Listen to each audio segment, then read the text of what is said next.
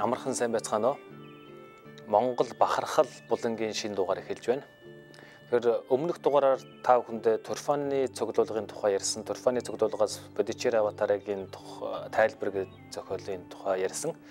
А энэ дугаараар бас Турфаны цуглуулгаас олдсон нэгэн сонирхолтой дурсгалын талаар ярих юм. За энэ бол сулхар 8 тууж гэж Монгол бичгийн бас нэг маш сонирхолтой хэрнээ маш чухал нэг дурсгал бий.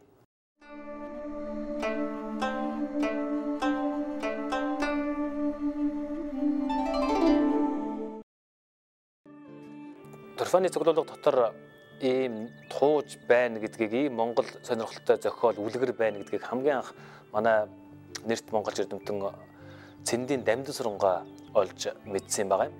Тэгээд арчилсан герман улсад хуучин нэрээр тийм ээ. Арчилсан герман гэдэг байхад эрдэм шинжилгээний аяллаар явж л тээ дамсрангаа. Тэгээд тэнд очиод Турфаны цуглуулга дотроос энэ сулхарнайн туужийг олж уншаад Тэгээд ийм сонирхолтой зохиол уншиг гэдгийг ирээд шинжлэх ухааны академийн мэдээ сэтгүүлд хэвлүүлсэн байгаа юм.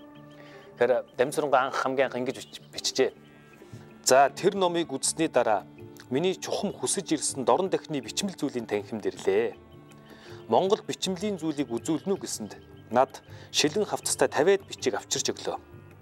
Энэ хуучин түүх номыг хамгаалахын тулд хуудас бүрийг хоёр шилэн дотор хавчуулж хатуу цаасаар имжиж наагаад хадгалж байна. Энэ номыг үзэхэд номын цаасанд гар хүрэх явдалгүй юм.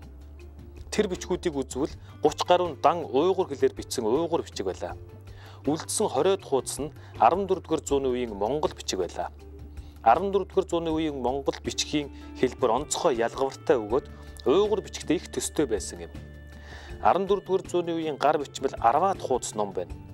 Үүний гадаад өнцөгт шилэн дээр Эше Майор гэдэг Германы эрдэм шинжиллийн сэтгүүлд энэ тухай хэвлэгдсэн зүйл бий гэж тэмдэглэсэн байна. Энэ бичмэл номоос хэдхэн мөрийг сэрүүлбэл ийм байна. Ингээд нэг монгол өчгөр бичсэн байна.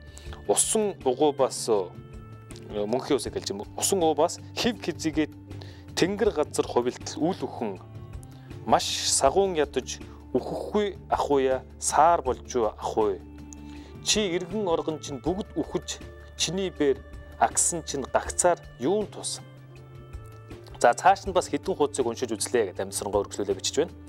Энэ номын нийт утга нь нэг хүн мөнхийн усыг ууж үрд мөнх амьд байхыг хүссэнд нөгөө хүн хорж чиний танил нөхөд ураг садан чинь үхэж дуусвал чи ганцаараа амьд байсны хэрэг юу байх вэ гэж сургах юм. Ийм нэгэн бяцхан зохиол байв. Энэ зохиол бусад хэлнээс орчуулагдсан юм уу? Монгол хэл дээр зохиогдсон алин болохыг олж чадсангүй. Олохыг оролдох завж байсангүй.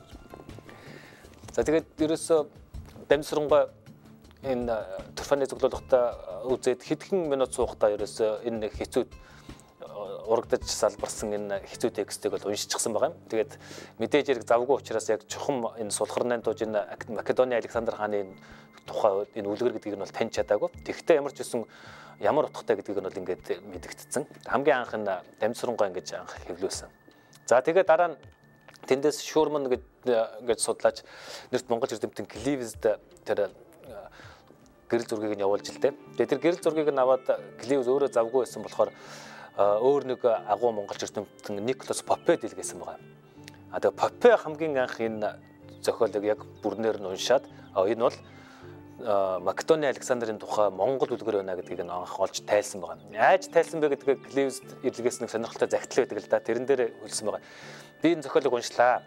Тэгээд хамгийн сонирхолтой нь сул харнаа гэсэн нэр их олон давтагдж байна. Тэгээд сул харна гэдэг нэр нь арабууд араб хэлэнд арабууд Александр хааныг дуул карнаин гэж хэлдэхдээ их төстэй байхыг үзээд ихэд сонирхож уншиж үзвэл яа харахгүй Македон Александрын тухай үлгэр мөн байна. Тэр араб бусад хэлээр турк, грек хэлээр их бусад үлгэртэй үйл явдал бол дүүцэж байна гэдэг. Ингиж анх Попе анх олсон юм байгаа юм. Энэ таньсан байгаа юм зохиолыг. Дараа нь харин Кливс өөрөө маш дэлгэрэнгүй судалгаа хийсэн. Хайнш гэж Германы эрдэмтэн бас том судалгаа хийсэн. Тэгээ ер нь бол Кливсийн судалгаа бол тэр Harvard Journal of Asian Studies гэдэг сэтгүүл дээр гарсан. За энэ та бүхэнд зүйлийн энэ сэтгүүл дээр гарсан. Энэ судалгаа бол ер нь бол их хангалттай бүрэн гүйцэд судалгаа юм аа. Тэгээд тэр сулхарна гэж яагаад Александр хааныг хилдэг вэ гэдэг нэг сонирхолтой юм. Дуул харнайн гэдэг нь тэр нь юу гэсэн үг вэ гэхээр араб хэлээр хоёр эверт гэсэн үг. Дуул хоёр тэгээ харнай гэхээр эверт хоёр эверт. Тэгээ хоёр эверт гэдэг Александр тийм их хоч нэрээр алдарсан байна. Яагаад хоёр эверт гэж нэрлэгдсэн юм бэ гэхээр хэд хэдэн ер нь их олон домог байдаг. За нэг домогт жишээлх юм бол Александр бурхнаас надад бүх улсыг мөргөн чичрүүлэх эвэр хайрлаач гэж гуйсанд бурхан эвэр хайрлсан гэсэн ийм нэг домог байна. Өөр нэг домог болохоор ерөнхийдөө Төв Аз Евразаар тархсан нэг үлгэр байдаг да нэг үлгэрийн байдаг. Яг тэр тийм үлгэр. Тэр нь болохоор Александр хаан өөрөө хоёр эвэртэй тэрийг их нуудаг байсан. Тийм учраас үсчнэр үсээ засуулаад засуулах болгондоо тэр үсчнийг алдаг байсан гэж. Нөгөө нэг ээлжигэн чигт хааны үлгэр шиг. Тэгээд тэгж байтал чинь нэг үсчин амьд үлдсэн. Тэгээд тэр нь битгий хэлээрээ гээд бүр ам үчгийг нь аваад явуулсан. Тэгээд нөгөөх нь бүр хэлж чадахгүй байсаар байгаад яа харахгүй нэг нишинг одонд хэлсэн. Тэр нишингээр нь хийсэн цуур нь тэр үргэлж хоёр эвэртэй шүү гэж дуугардаг дуулдаг болсон гинлээ гэдэг. Ийм гих мэтлэнгээр олон үлгэр байгаа. Тэгээд эртний грекийн зоосон дээр хүртэл энэ тав хүн одоо энэ харж байна энэ зоосон дээр хүртэл одоо энэ Александр хааныг энэ эвэртэй маягаар ингэж дүрсэлсэн байна. Хоёр эвэрт хаан гэж. За тэгээд энэ хоёр эвэртийн гэсэн сулхар дулхарнаа гэдэг нэр монгол хэлнээ сулхарнаа болж ороод ингээд аль хэдийн Монголд орчуулагдсан хэвлэгдэж монголчууд одоо хоорондоо энэ үлгэрийг Александрийн тухай үлгэрийг бүр 13 14 дугаар зууны үед монголчууд хоорондоо хэлэлцдэг байсан нэг сонирхолтой юм. Тэгэд энэ зохиол маш их урагдаж илэгдсэн тасарсан. Тэгтээ тэр Попе, Кливс, Дамжсрангой тэр бүгдээр бол судлаач нар бол уншаад ихэнх утгыг нь бол тайлаад гаргаад ирчихсэн байгаа. Тэгээд ер нь бол нэг дөрвөн хэсэгээс тогтсон үлгэр байгаа юм. Тэгээ бүгдээрийг энд бас нэг бүрчлэн унших боломжгүй учраас та бүхэнтэйгээ нэг эхний нэг ургацсан хэсгээс нэг бага хэсгийг уншиж үзүүлнэ. А тэгвэл ерөнхийдөө утгыг нь ярих юм бол нэг дөрвөн хэсэг байгаа. Нэг эхний хэсэгт нь тэр сулхарнаа Месир хотын гэж байгаа Месир хэмээх балгасны гэж байгаа хотын Месир хотын сулхарнаа гэж хаан байжээ. Тэр хаан тэгээд сүмэр таг сүмбэр ууланд гарч байгаа юм л да. Сүмбэр уул гэдгээ сүмэр таг гэж яг түрк үгээр нь түрк гэлээр нь бичсэн байгаа. Түргээс зээлдэж асууг сүмбэр сүмбэр таг гэдэг нь уул гэсэн үг шүү дээ. Таг тай гэдэг чинь түрк гэлний уул гэсэн үг. Тэгээ сүмэр таг буюу сүмбэр уулын орой дээр гарсан нэг өгүүлэмж байгаа. За тэн тэгээд гарид шуутай таарлдана. Тэгээ сонирхолтой тэр грек хувилбар дээр нь болохоор феникс гэдэг шуутай таарлаж яадаг. Тэгээ нэг өөр нэг уулан дээр гарч яадаг. Тэгтэл чинь Монгол хувилбар дээр нь болохоор гарид шуутай таарлаж байгаа. За тэгээ дараа нь хоёрдугаар нэг өгүүлэмж нь болохоор тэр 7 еврол руу нэг буусан байдаг. Тэр яагаад тэр сүмөр сүмөр уулдаар гарсан 70 еврол руу буух болсон бэ гэхээр тэр зохиолынхэнд тэр тэнгэрт соёрхогдсон гэж нэг хүн ирээд тэр сулхарны хаанд хэлж байгаа юм л да таавал тэнгэр соёрхогдсон. Тэгээд мөнхийн ус гэж байдаг. Тэрийг хүртэх юм бол 3000 жил 2000 жил амьдрнаа гэж ингэж хэлсэн. Тэгээд тэрийг хайгааж явж байгаа юм л да. Тэгээд орлогын еврол руу буусан хоёрдугаар хэсэг байна. За тэгээд тэр 70 евролоос гарч ирээд Тэр далайн ороод бууж байгаа өгүүлэмж нь бас их сонирхолтой байдаг. Хараба гэдэг авдар, авдура гэж монголч хэрэгцсэн. Авдар хийлгэж аваа тэгээд 5000 мод газар явах тэр дэгээс дээс дээсэр осорлоо тэгээ буулаа гих мэтлээ мэтчлэн. За тэгээд дараа нь далайгаа ёроолоос гарч ирсэн. Тэгээд нартай хамт шингэж харанхуйн орн руу явсан гэж. Харанхуй нартай хамт шингэж явсан. Тэр нөхөд нөхөд болон ноёд гэж хоёр үг их олон гараад автагдаад байт тийм нөхөд ноёд хоёртой хэлж байгаа тийм ээ төшмөдтэй хэлсэн. Тэгээд харанхуйн орн руу явсан. Тэгсэн нэг хүн тэр харанхуйн оронд биеийн үл үжүүлэн гэж байгаа бие үзүүлэхгүйгээр тийм ээ нэг мөнхийн усыг өгсөн. Тэгээд тэр мөнхийн усыг усаа аваад гараад ирсэн. Тэгээд ноёдтаас асууж тэ нэг уух уу яах вэ. Тэгээд нэг бяцхан маргаан болж байгаа. Зарим нь уул дээр, зарим нь уугаад хэрэггүйгээд. Тэгээд эцэст нэг их ухаантай ноён хэлсэн ерөөсөө энийг уугаад ингээд та ганцаараа амьд байгаад байдаг.